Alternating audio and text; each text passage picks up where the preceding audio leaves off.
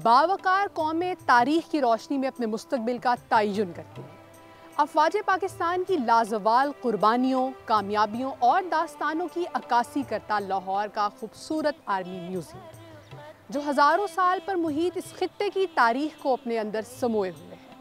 और नई नस्ल को इससे रूशनास करवाने की एक कामयाब कोशिश है।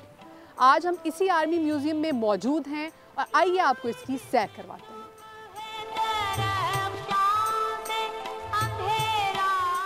नाजी म्यूज़ियम के अंदर दाखिल होते सबसे पहले शहदा गैलरी आपको नज़र आएगी, जहाँ पर उन्नीस से अब तक बीस हज़ार से जायद पाक फौज के शहदा के नाम आवेज आए, जिन्होंने मुख्तलिफ़ महाजों पर लड़ते हुए मुल्क की खातिर जाम शहादत नोश किया।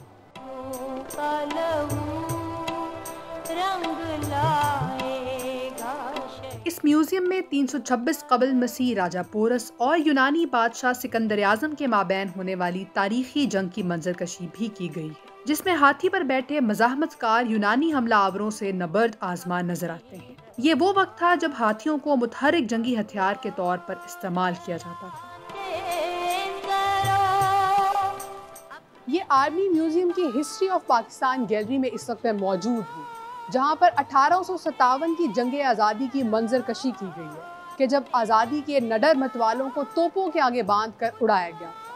आज़ादी की तगोदो आसान न थी, जिसकी खातिर बहुत से मासूमों ने नडर होकर अपने खून का नजराना पेश किया। ये अठारह सौ सतावन की जंग आज़ादी में इस्तेमाल होने वाली नौ पॉइंट कांसी की वो खूनी तोप है कि जिसके आगे आज़ादी के शदाइयों को बाँध कर उड़ा दिया गया। 14 अगस्त उन्नीस सौ सैंतालीस के बाद पाकिस्तान की पहली दस्तूर साज असम्बली के अफ्ताह के मौका पर तकरीर का वो मंजर है, जिसमें कायद अजम मोहम्मद अली जना तकरीर कर रहे हैं और उनके साथ लॉर्ड माउंट बैटन मौजूद हैं, लेडी माउंट बैटन भी यहाँ मौजूद हैं और उनके साथ साथ मोहतरमा फातमा जना भी मौजूद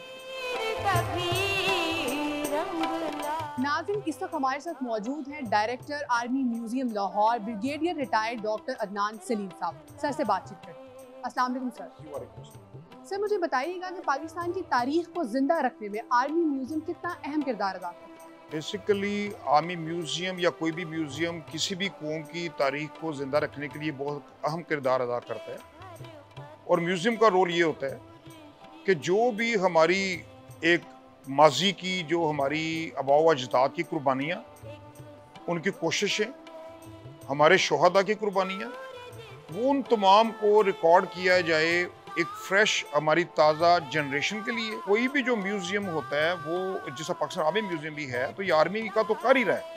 लेकिन पाकिस्तान के हवाले से हमने कंप्रीहेंसिव जो इसको कवर किया हुआ है, वो इसीलिए किया हुआ कि हमारे बच्चे एक मुहब वतन पाकिस्तानी बने और फ्यूचर के अंदर अपना खूबसूरत रोल वो जिस किसी कैपेसिटी में भी अदा करें डॉक्टर हैं इंजीनियर है टीचर है बेसिकली वो पाकिस्तानी हो और पाकिस्तान को हर फ़ील्ड के अंदर वो ऊपर लेके जाए।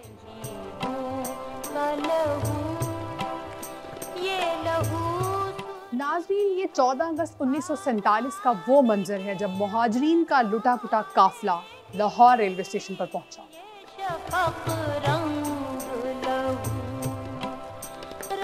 पार्टीशन के वक्त अपने घर बार अपने प्यारों को आज़ादी के हसूल के लिए कुर्बान कर देने वाले महाजरीन की ये मंजर कशी आपको आप दीदा कर देती है। इंसानी हिजरत की ये दिलसोज कहानी, ट्रेन के मनाजे में लोगों की ये परेशानी और पाक फौज के जवानों का किरदार हकीकी मंजर महसूस होता है। मुल्क और कौम की तरक्की में जहाँ पाक फौज के जवानों ने अहम कारनामे सर अंजाम दिए, वहाँ कौम की इन बेटियों की खिदमत भी किसी से कम नहीं।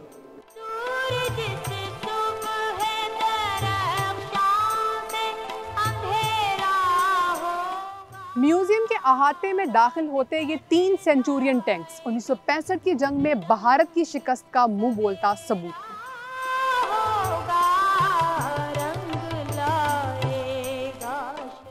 और मेरे पीछे पाक फ़िज़ाइया के हवाबाज राशिद मिनहास, जिन्होंने निशान हैदर भी हासिल किया, उनके जहाज़ का खूबसूरत मॉडल है।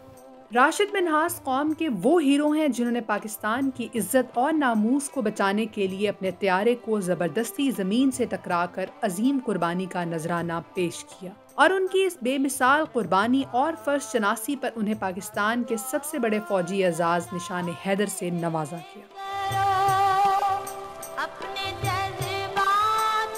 अफवाज पाकिस्तान की तारीख कुर्बानियों से रकम है। और इस म्यूज़ियम में आने वाले सयाहों को तारीख के आईने में पाक फ़ौज की अहम कुर्बानियों की आगाही मिलती है। इसी के साथ अपनी मेज़बान ताहिर अली को इजाज़त दीजिए। मज़ीद अपडेट्स के लिए हमारे ऑफिशियल पेजेस को विज़िट करना मत भूलिएगा। दोबारा किसी दिलकश मकाम पर आपसे फिर से मुलाकात होगी। अल्लाह निगेबान